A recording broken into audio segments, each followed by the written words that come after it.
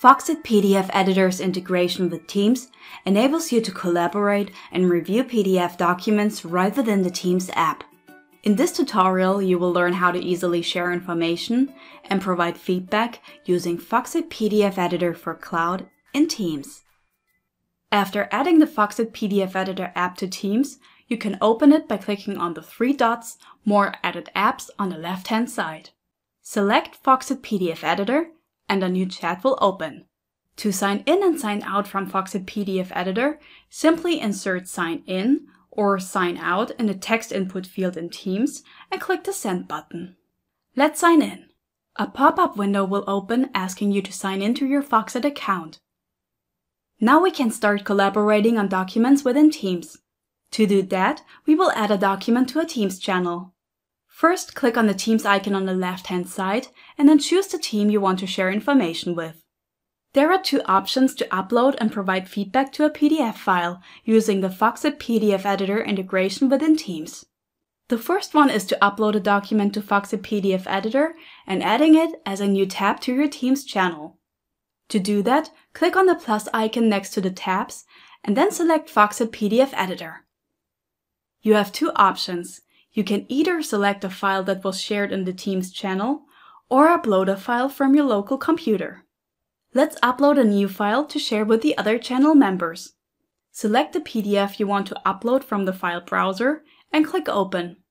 Finally, click Save to upload the document to Foxit PDF Editor. A new tab at the top of the channel's chat containing the document has been added. To access it, you can either click on the tab on the top or on the link in the Posts tab.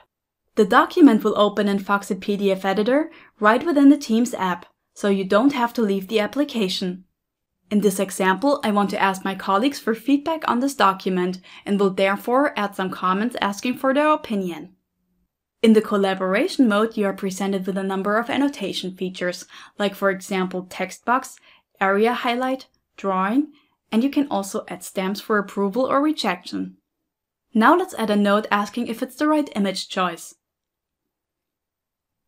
Then we'll highlight the headline asking if it should be changed. And lastly, we'll add a callout box asking if we should also add Bali to the list. When done, click on the disk icon on the top to save the changes. Finally, click on Posts to get back to the channel posts. Your colleagues can now provide their feedback using the same method. Another way to share a document and provide feedback in Teams is by uploading a PDF file right to the channel's chat.